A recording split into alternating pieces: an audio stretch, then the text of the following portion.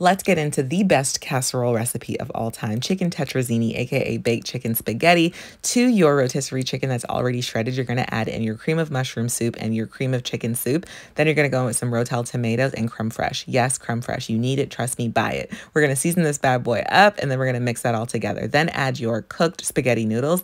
Give that another mix and then add your cheese of choice. I'm doing mozzarella and cheddar. Cover it up, bake it, and then at the very end, let it broil for a little bit so the cheese gets crispy. You got to try this recipe, y'all.